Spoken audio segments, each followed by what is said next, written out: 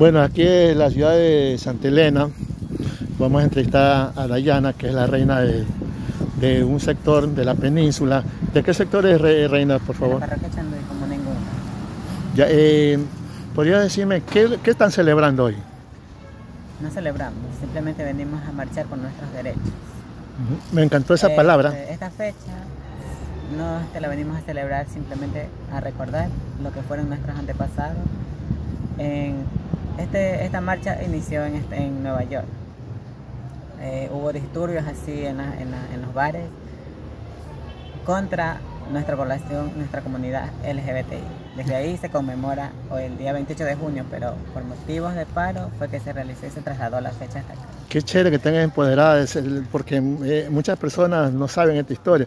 Y me gusta tu palabra que dices marcha, porque esto, esto no tenemos, aquí no hay nada que celebrar. Ajá, o sea, Aquí este es un momento, es una marcha política, es una marcha política.